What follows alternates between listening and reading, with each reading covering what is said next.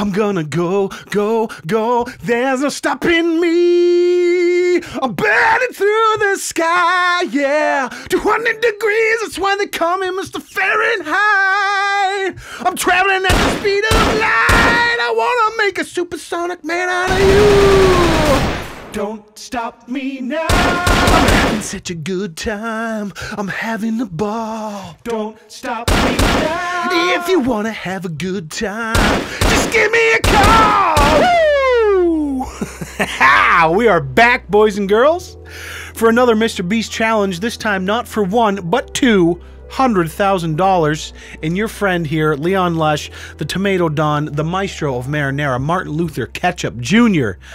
I, don't, know what that is. He's going back to LA this week to defend his quarter title. And yes, I call it a quarter title because the $100,000 was split between four winners, myself included. And I've seen the comments, oh, you shouldn't have been allowed to make deals. That just, uh, I would have stayed until the end and made the. Shut the up, all right? I made $25,000 for standing in a circle for 31 hours. Okay, you would have done the same goddamn thing. now I am thrilled to be a part of this. I want to keep you guys abreast. I want to get you up to speed of what's going on. So we're gonna be. I'm gonna be going out. There's gonna be, I believe, 36 YouTubers from all over the world. 12 teams of three, okay? It's going to be trios, similar to the game Apex Legends, if you're familiar with that. We're going to be uh, battling it out on this real life kind of video game map, right? Everyone gets dropped in, all the teams get dropped in. Everyone's wearing balloons, like three balloons on their back, like old school Mario Kart battle mode. You remember that? And there's going to be like maps, uh, excuse me, there's going to be guns placed around the map, airsoft guns. And you're just going around, you're grabbing guns, you're trying to bust other people's balloons up, right? Similar to this Dude Perfect video uh, right here. Roll the clip. Are you ready for more? Ah! Dang it!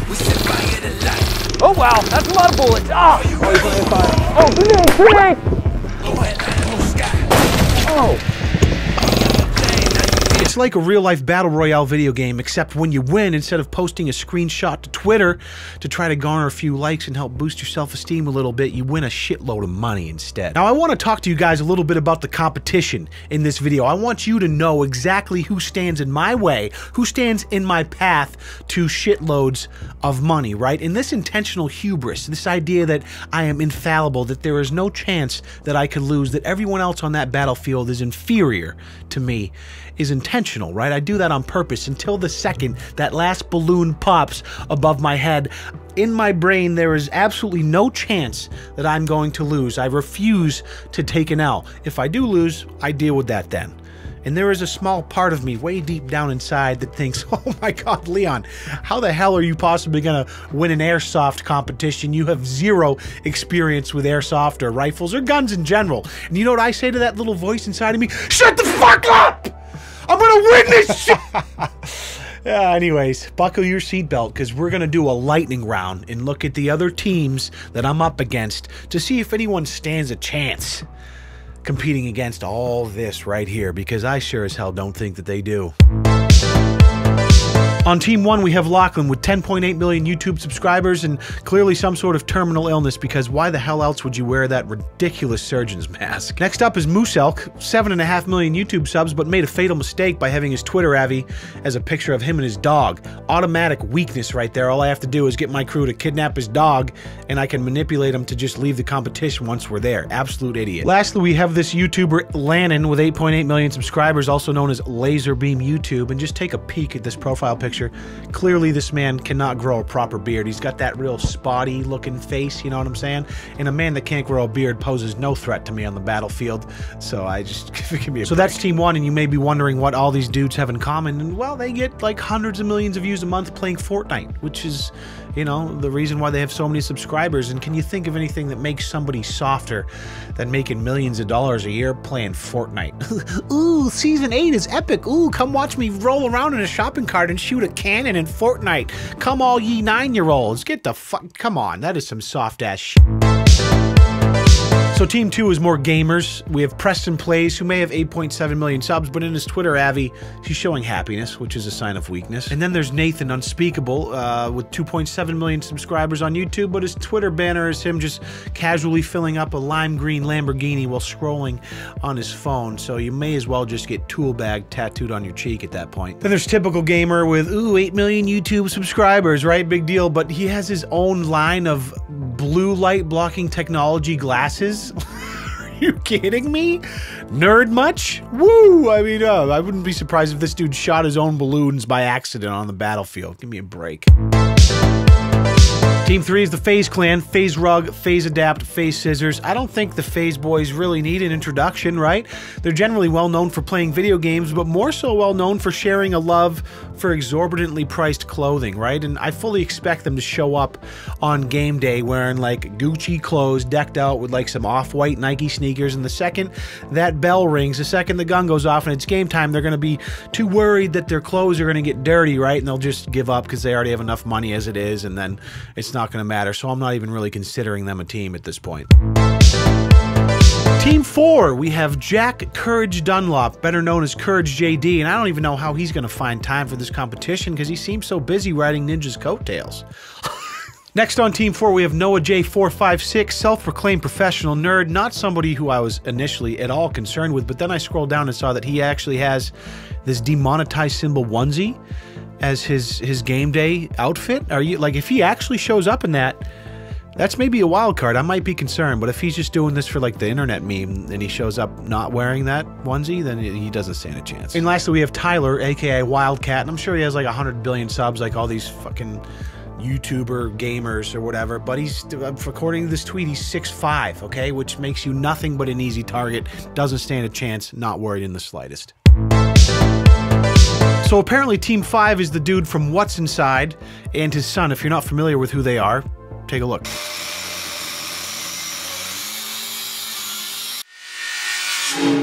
Welcome to the video that we never thought we'd make. I'm Lincoln and this is Dan from What's Inside, and today we have our gold play button! I can't believe it's finally here. Here we go! Yeah, so it's just this dude and his son that have built this massive YouTube channel by cutting things in half, right? And I'm having trouble gauging whether or not I should be threatened by them, but all I know is if I get eliminated by like a seven year old on the battlefield of airsoft, I'm gonna be, uh, I'm gonna, I'm gonna have trouble. I'm not gonna be able to handle that very well. I'm not at all. Now, Team Six, I hold near and dear to my heart, okay? Because we have Alex Ernst and Danny Duncan, two of my brothers that are my co-champions from the Circle Challenge, right? And I can't talk smack about these two. Leon, do you think you deserve the same as Danny and uh, Alex? Absolutely. oh God. Okay. So the deal is you four each get 25 grand and then five way shout out. Put your hands in and dudes make some noise. I don't know. One, two, three. We sat in that circle and we bled together for 32 hours before walking away with an even split 25 apiece, right? But they're both like mediocre sociopaths, right? Danny Duncan is fucking crazy. Love the dude. I think he's hilarious, but he's a little tapped. Alex Ernst, again, you know, I, just had no idea what to expect from these two. But the wild card in the situation is the third member of their team is Cole LaBrant. Are you ready?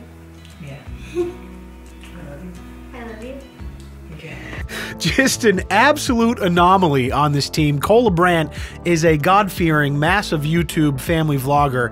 Uh, I made a video on him years ago. You know, it was a fun video. Take a peek. And we're gonna give you guys 10 cool kisses to do whenever you're out in public and with, with, with your partner that you love. Yeah, this one's called Our Favorite 10 Ways to Kiss by Savannah and Cole. And immediately, I want to die, but let's dig a little deeper. So we're gonna show you guys how, how boring normal people kiss and then 10 really cool kisses that you can do. I mean, just an absolute wild card. But if he brings the full wrath of God to this competition, there's no telling what could happen. I'm not counting him out. Next up is Team 7, in my opinion, the clear favorites of this competition, featuring yours truly. We also have Juke Squad, who has glorious dreadlocks, uh, is kind of a crazy person himself, and he's also the brother of Tfue, who, if you don't know, is probably one of the best Fortnite players in the world. And just by blood association, that means that Juke Squad has incredible aim, I think. And we also have DALLMYD, who is a treasure hunter with over 7 million subscribers on YouTube. Are you kidding me? If you're telling me, oh, hey, Leon, you need to compete in an airsoft competition to win a hundred, maybe two hundred thousand dollars, the first thing I'm thinking is let me get a goddamn treasure hunter on my team, and I have that. I'm not even worried for a second.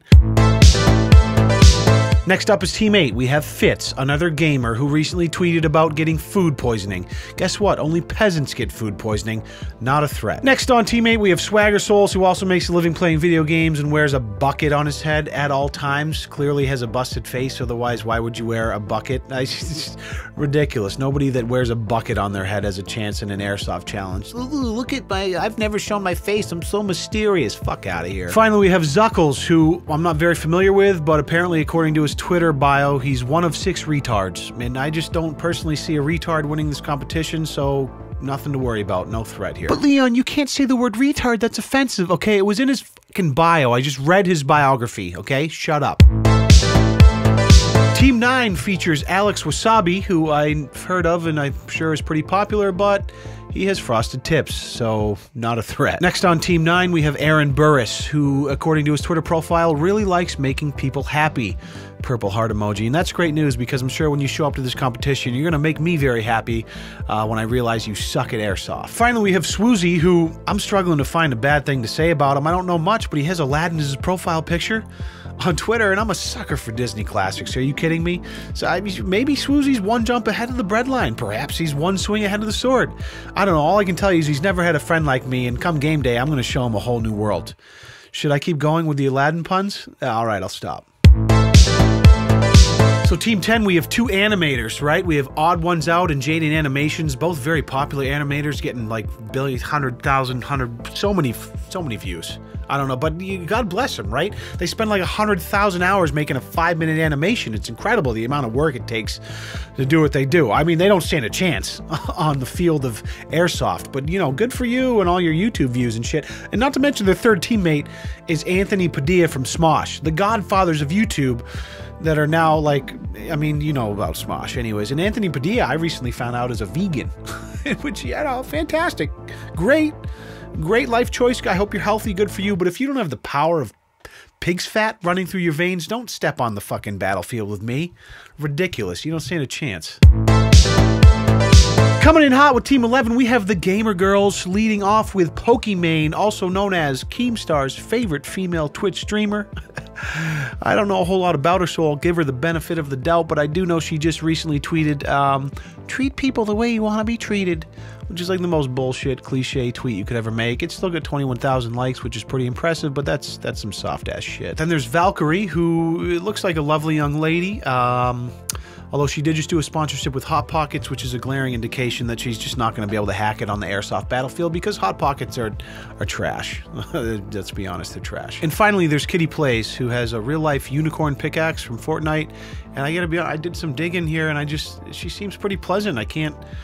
I can't find anything. Ah, I don't know. These girls, they may be the sleepers, right? This is just a, it's a competition filled with testosterone dick swinging around everywhere. And then you have like, uh, you know, these three Twitch girls. I feel they may come in and be like those kind of sleepers, just start pop, pop, pop, sniping, camping in the bush with the op, just busting people's balloons up. I got my eyes on them. I got my eyes on these girls. I'm not, I'm not sleeping on it.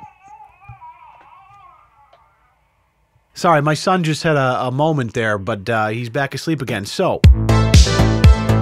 And finally, Team 12, the final team on the docket, or at least I think, as far as I know, we have Tanner Fox, Roman Atwood, and MiniLadd. Now, Tanner Fox and Roman Atwood are like both lifestyle vloggers, couple hundred billion subscribers apiece, multimillionaires, obviously, but they're both like carbon copies of each other, and they weigh like a combined 130 pounds soaking wet with a couple rolls of quarters in their pockets, right? Don't stand a chance. And MiniLadd, one of my other brothers from the circle, well, let me tell you something about him. He's just, uh, he's a, he's just a really nice guy. Very, just a, he's a sweetheart. I can't, I'm sorry, I can't, I can't talk any more shit about people. I'm exhausted. Obviously, this video was a bit of a piss take, all right? You know, like everybody on this list, I have a great deal of respect for. I'm very excited to meet a lot of these people, and I'm so excited and feel very fortunate to be a part of this whole event. Now, hubris aside, if you'll allow me to be real for a second, I don't know shit about airsoft or guns, and I have very little confidence in my abilities to, to take home money in this competition compared to the circle challenge, which I felt very confident about going in, knowing it was going to be a standing competition where we're going to be wearing weights, and my size would be an advantage, and it clearly proved to be an advantage, and I ended up going obviously into the final four and coming home with some money. This challenge, I have I have no idea what's going to happen. I have zero expectations. All I know is that it's going to be a fucking incredible time. Uh, I'm going to be able to meet some uh, amazing people. Uh, I'm really looking forward to it, and I'm hoping you guys will, will come along for the journey. I'm going to try to get some footage, and obviously I'll be I'll be doing some stories on Instagram. I'm going to try and get like a vlog up after I get home. So I'm going to LA to defend my quarter crown, and I refuse. I mean, I will not get on a plane if I'm not rolling out of there with a fat stack of prize money in my pocket. Will not leave. I you know no, I'll probably I'll probably still come home if I don't win, but I you know it'd be nice. A couple extra bucks would be nice. But uh, thank you guys so much for watching. As always, I appreciate your time. I hope uh, I hope you enjoy this event when the video eventually comes out. I know I'm just super pumped to be a part of it. Obviously, a big shout out to Mr. Beast for putting these things together. It's really it's really making uh, for some life experiences for me and a lot of other YouTubers, and it's it's really really cool. Um, so be sure to hip thrust that motherfucking like button for me. If you want to support the channel, you can buy some merch or become a channel member down below. And uh, just you being here, watching the videos, liking, commenting means the world to me. Thank you so much, guys. I'll see you when I get back. Uh, hopefully, you know, a couple thousand dollars richer. Peace. You, you